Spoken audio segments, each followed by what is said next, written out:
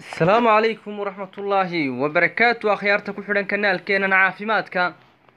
Ee dhegtarka caafimaadka qoyska aada u soo dhowaada insha allah maanta waxaynu soo qaadanaynaa timaha ka soo baxa inta la yidhaahdo private partiska amase genetalka iyo xilliyada qaar timahaasu inay sababi karaan dhibaato haddii nadaafad darro badani dabcan halkaa ka jirto.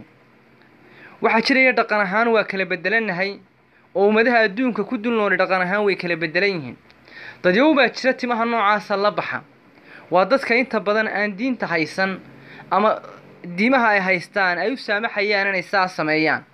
Laakiin innaka diinteenna macaane islaamka ayaa waxayna faraysaa in la quseeyo ama la rifo ama la jaro wakhtiga ay gaadhaan xilliga lagu talagalay. Afartaneeyo cisho iyo wixii ka yar inahaas haddii aynu runtii hoos u dhaafno haddaba arrinta caafimaadkaynu ka eegaynaa waxay tahay.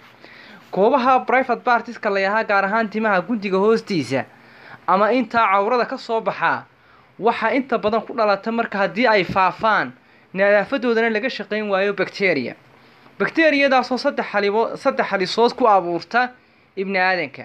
Bacteriyada waxaa la yahaa alavina bacteria.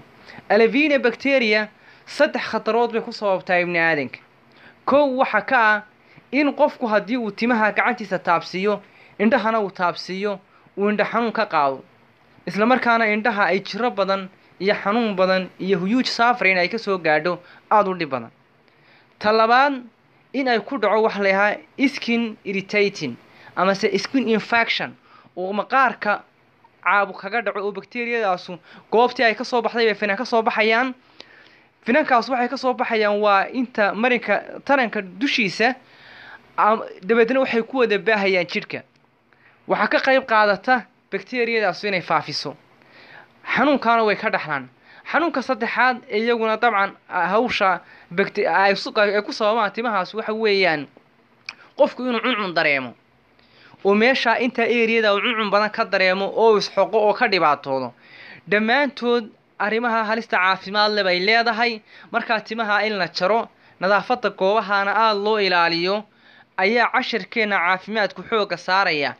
Si dabeeciya ama runtii nature ayaa ibni aadanku ugu baraarugsan yahay kuwa caqligoodu fiican yahay ee diinta islaamka haysta iyo kuwa cilmiga xadaamaatiga leh ee diintoodu aana islaam ahayn arrimahaas ayaa dabcan inta badan waxay sababaan inuu qofku nadaafadda ilaashado.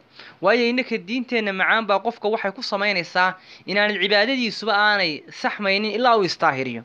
Arrimahaasu dabcan saas ayay muhiim inugu ahaanayaan. Xagga scientifically haddaynu ka eegno amase sayniskana xanuunadaas runtii aan quruxda badnayn ama qofka jirooyinka caafimaad ku sababaya ayaa ka iman kara.